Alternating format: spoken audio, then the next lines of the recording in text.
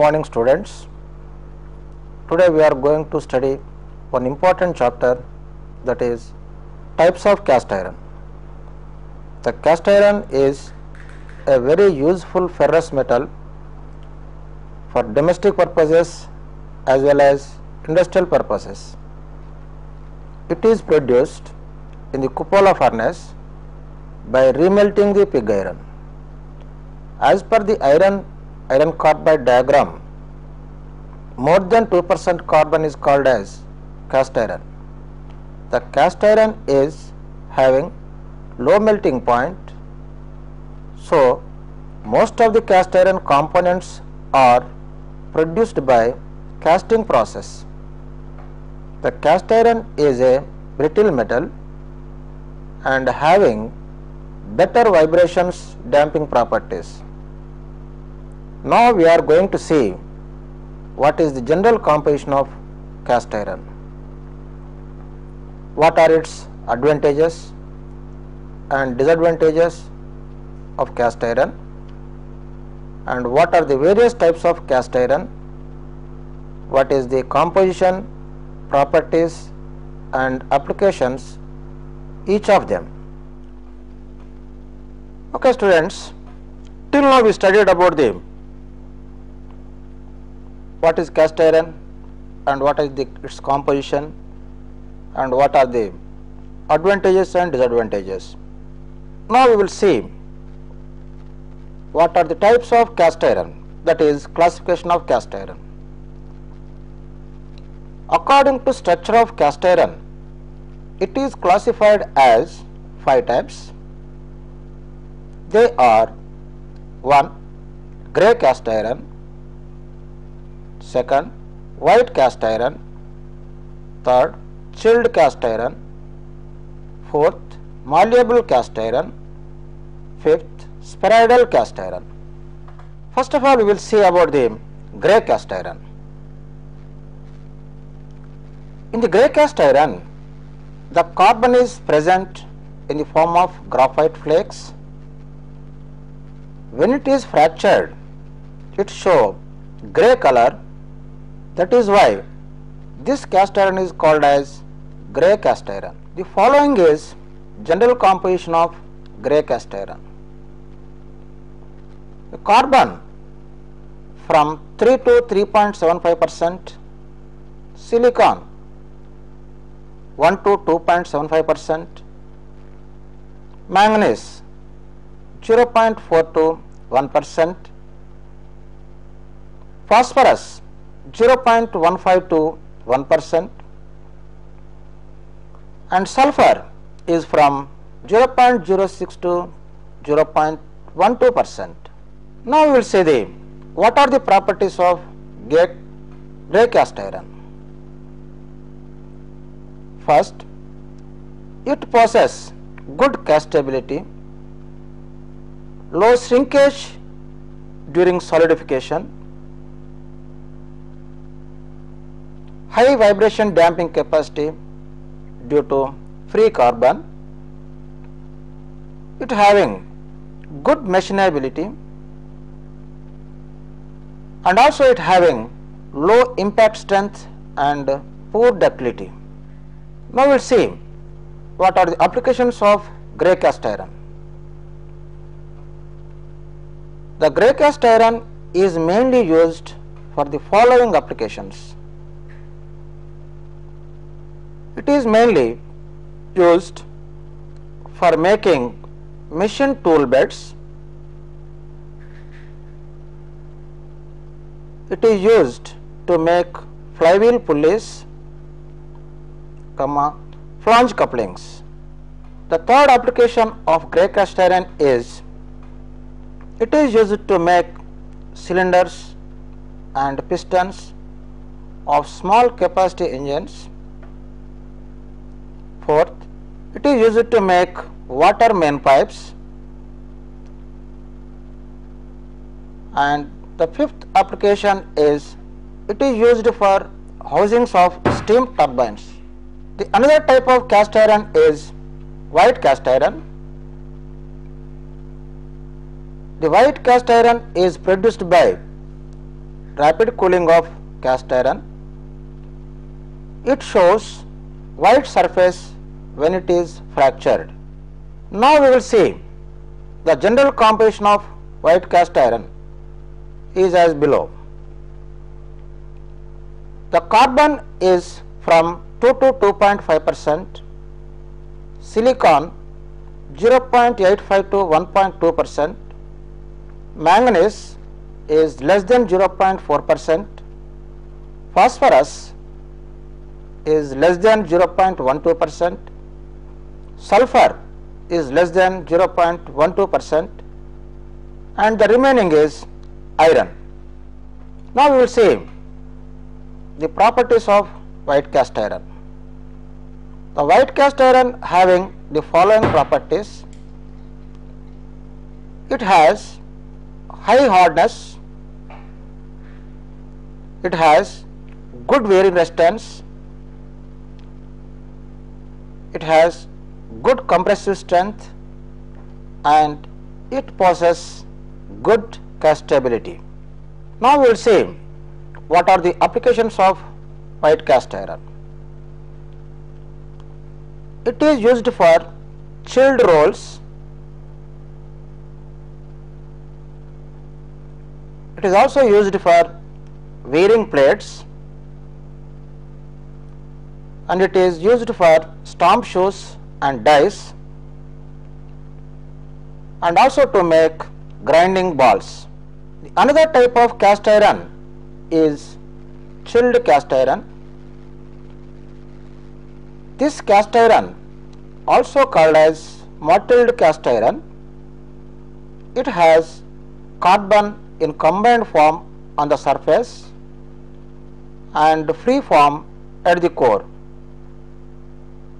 The formation of graphite during solidification depends on the cooling rate.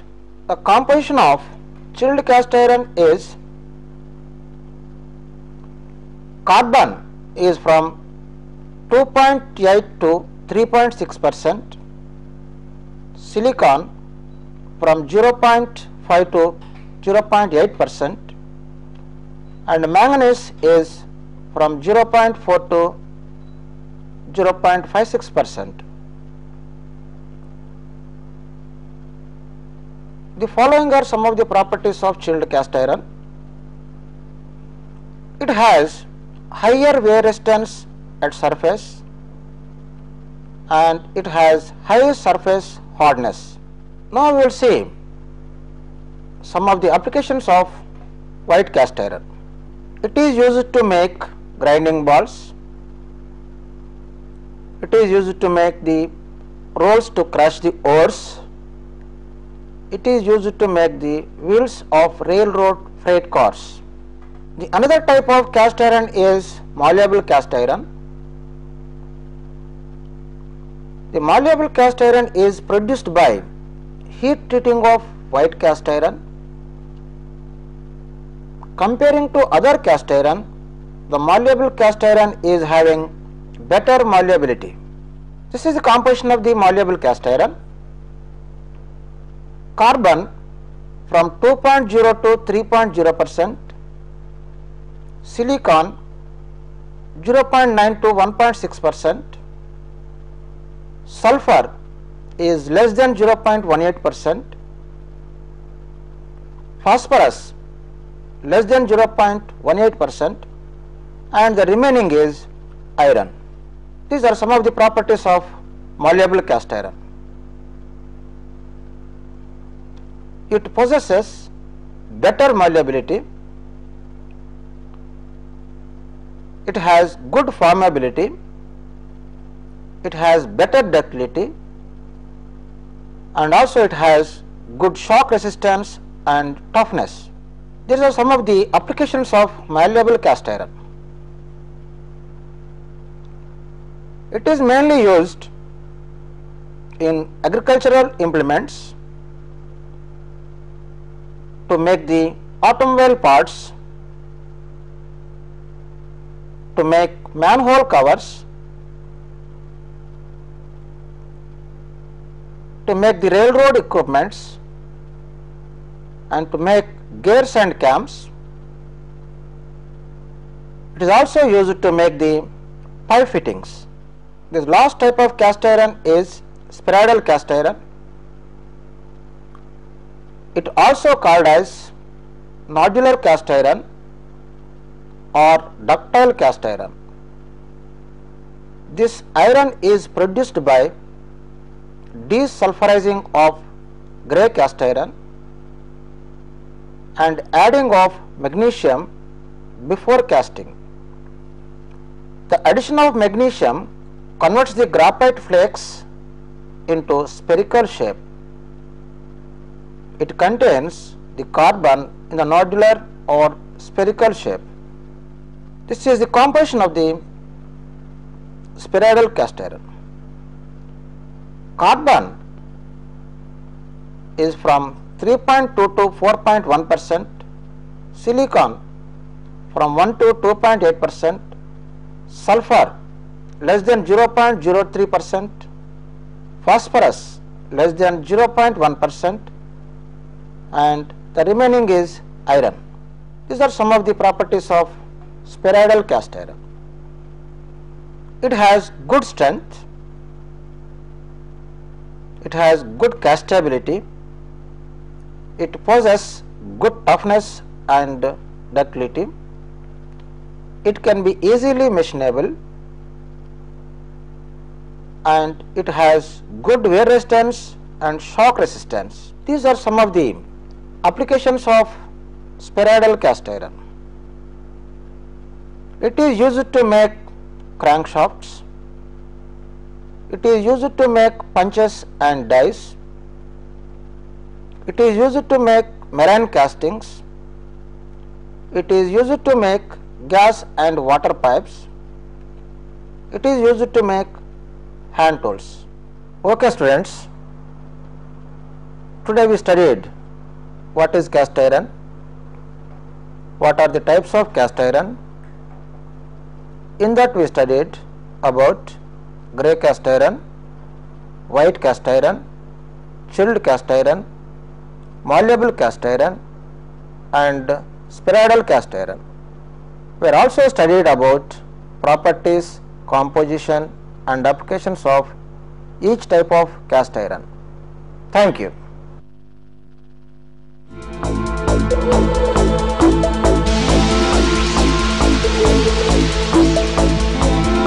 Why can't we have cast iron or mild steel ornaments?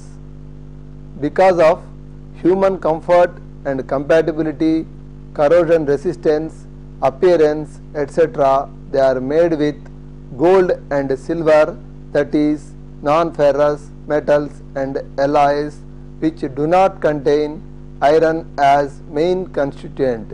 The prominent non-ferrous metals are copper, aluminum, nickel, zinc, tin, lead, magnesium, chromium, gold, silver, etc. Now we go through properties and uses of non-ferrous metals and alloys. Properties good electrical and thermal conductivity that is they can easily conduct electrical power as well as they can easily conduct thermal heat. Next is uh, good castability and formability that is uh, any type of casting is possible with uh, non-ferrous uh, metals and alloys. Formability means they can be shaped to any required shape. Special magnetic characteristics that is uh, ferrous metals and alloys are usually magnetic whereas most of the non-ferrous metals and alloys are non-magnetic in nature. This sometimes find some uses. Next is the corrosion resistance. Next is the ductility and malleability. By ductility we mean they can be drawn into wires and cables uh, very easily. Malleability is uh, the property due to which uh, they can be made into sheets and plates such as uh, uh, silver foils or aluminum sheets like that. Due to the above said properties they find the following uses. Number 1 aircraft applications that is uh, aircraft uh, wings or uh, some other spare parts. Next is electrical and thermal conductors. Next is bearings, heat exchanger tubes because of uh, good thermal conductivity, chemical apparatus due to corrosion resistance, electrical appliances. Now we go for details of various non-ferrous metals and alloys, copper and its alloys. Properties are like this, good malleability and ductility that is uh, it can be drawn into sheets and plates as well as uh, wires. Good electrical and thermal conductivity, moderate strength and hardness, corrosion resistance, easily machinable and formable that is by machining it can be shaped to any required size and shape. Formability means that can be uh, mechanically shaped to the required size and shape. Can be welded, brazed and soldered. You know that welding is a property of joining two metal pieces. Similarly, brazing is uh, the pro uh, process of joining two similar or dissimilar metals. Next coming to the uses, number one cooking utensils, tubes in heat exchangers due to good thermal conductivity, heating kettles that is a tea making uh, containers, conducting wires, cables, switch elements, brasses and bronzes are the different alloys of copper, aluminum and its alloys.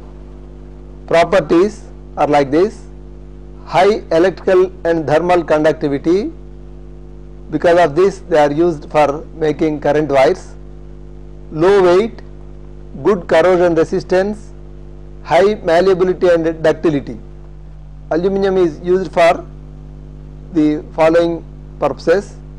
Due to said properties, aluminum is used for aircraft applications that is aircraft wings and other components, electrical cables, cooking utensils, chemical apparatus due to good corrosion resistance. Next coming to the aluminum alloys, duralumin which is a wrought alloy that is uh, need not be cast having the percentage of copper 3.5 to 4.5, magnesium 0.4 to 0.7 percent, manganese 0.4 to 0.7, aluminum is balanced.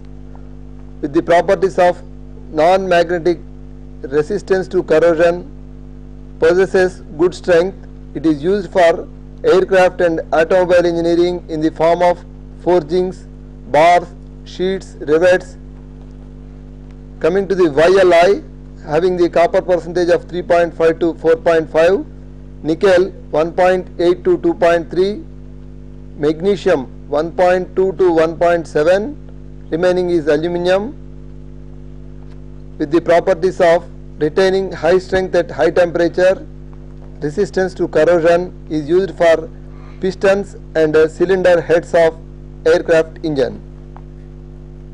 Magnalium with magnesium 2 to 10 percent, copper 1.75 percent, remaining is aluminium which is light in weight, possesses good mechanical properties, is useful for aircraft and automobile components. Hindalium, magnesium 3.5 percent approximately and a small percent of chromium and rest is aluminium. It is very good corrosion resistant. Due to that, this is used for utensil making. Cookers etc. are made with uh, hindalium. Now, let us go for nickel and its alloys. Now, we go for nickel and its properties. Coming to the properties, good mechanical strength, corrosion resistance, capacity to retain polish, creep resistance that is uh, this do not undergo much deformation at elevated temperatures in uh, a long time. Coming to the uses, nickel is used for gas turbine discs and uh, blades. You know that gas turbine is used for generating mechanical power which may be connected to electrical generator to generate electrical power. It is used as constituent metal in nichrome that is uh, the metal or alloy used for making heating coil wires. Next to Monel metal, Constantan etc. To conclude this, nichrome an alloy of nickel, chromium, iron is used as heating element as you have seen. Zinc and its alloys, the properties are like this. Zinc is a bluish white metal, malleable and moderately ductile, brittle at room temperatures that is brittleness means this will not give sufficient deformation before its failure when it is subjected to load. The uses are like this. You see GI buckets in which a zinc coating is given on iron and steel and called galvanizing. It is also used for die casting alloys. Coming to tin and its alloys, the properties are like this. Tin is white lustrous metal, very soft and weak, malleable and can be hammered at to produce thin foils, corrosion resistant. Uses are like this. Tin finds indirect use such as constituent in bronze that is copper and tin forms bronze, gunmetal of course it is also one type of bronze, bearing metal, solders that is uh, the soldering elements used for making solders, soldering, coating on copper and iron as shown on biscuit tins which is a, a good uh, corrosion resistant uh, coating Coming to the lead and its properties, it is a soft, heavy and malleable but not ductile. It has silver white color. It can be work hardened at ordinary temperatures. It absorbs high energy rays. Lead compounds are used in paints and pigments. Pigments are color making chemicals. Now we go for magnesium and its alloys. Properties are like this. Lightest of all engineering materials due to this the magnesium is alloyed with aluminum to make aircraft components. Easily formed, spun, drawn, forged and machined with great accuracy. Spinning means it is done in the uh, turning process to give shape. Alloys with uh, aluminum, zinc, manganese etc. Uses are like this. Aircraft engine parts due to lightweight I already told you.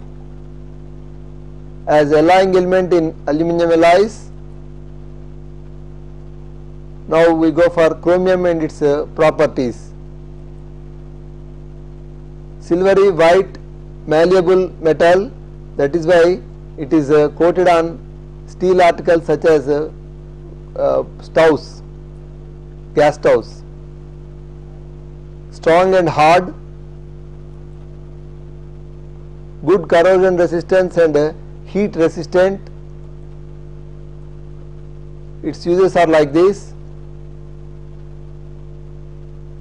widely used as target in X-ray tubes, used as alloying element in tool steels, stainless steels. Now we go for bearing metals, alloys. A bearing is a mechanical device for decreasing friction in mission in which a moving part bears that is slides or rolls while exerting force on the other part bearing supports moving parts such as shafts and spindles of machine or engine. Selection of material plays an important role in the design and performance of the bearing. The metals which are used for making a bearing are called bearing metals also called babbitts. Properties of the bearing metals are like this. It should be it should have low coefficient of friction that is very smooth surface to avoid frictional waste of power. High melting point because the bearings are subjected to high temperatures if it melts it is going to fail. High thermal conductivity due to which the bearing easily conducts the heat generated. Good load bearing capacity naturally the bearing requires this because it is a load bearing element. Corrosion resistance usually bearings are subjected to lubrication with various uh, lubricants which may corrode in fact so it should have corrosion resistance. Low cost good uh, compressive strength at uh, operating temperatures. Usually the bearings are subjected to high temperatures. If it is having not uh, sufficient uh, compressive strength they may fail. Types of uh, bearing metals. There are three types. Lead based white alloys also called as babbitt number 2 is tin based babbitt copper based babbitt coming to the composition of lead based babbitt lead is up to 80 percent antimony is 10 percent tin is 10 percent tin based babbitt their composition is like this tin is up to 88 percent antimony 8 percent copper 4 percent the properties are like this good resistance to corrosion, low coefficient of friction and uh, good wear resistance. Wear resistance means uh, it is not going to form any abrasions when it is subjected to uh, load or abrasion. Soft metal, self lubricating properties that is even if you do not apply any lubricant it is having inherently lubricating properties. Therefore it is used for crankshaft bearings. Copper based babbitts composition is like this. Copper 80 percent tin 10 percent lead 10 percent. The properties are like this. Corrosion resistance reasonably hard that is a, it is not going to get any abrasions when subjected to load or abrasion uses are like this used where bearing pressure is high such as railways we summarize the chapter like this metals and alloys which do not contain iron as main constituent are called non-ferrous metals and alloys. Example copper, aluminium, tin etc. Copper is soft, good conductor, corrosion resistant metal. Copper alloys are brasses consisting of copper and zinc used in naval applications, medals, utensils etc bronzes containing copper and tin used for bells, gun barrels. Aluminium has low weight, high malleability and good ductility. It is used for making utensils, electric cables etc. Important aluminium alloys are duralumin consisting of aluminium, copper, magnesium, used for aircraft components. Y alloy consisting of aluminium, copper, nickel, magnesium used for pistons. Magnalium consisting of aluminium, magnesium, copper used for aircraft wings. Hindalium consisting of aluminium, magnesium, chromium used for utensils. Bearing metals are also called as babbitts properties are like this. Number 1 low friction. Number 2 thermal conductivity. And last one is corrosion resistance there are three types of babbitts number 1 copper based. Number 2 lead based. Number 3 tin based babbitts finally i conclude this topic that is non ferrous metals and alloys. I hope you understood very well. Goodbye. Thank you. Further clarification, contact the Additional Secretary, State Board of Technical Education and Training, 7th floor, BRKR Bhavan, Tank Bund Road, Hyderabad 500063. Fax 040 322 0546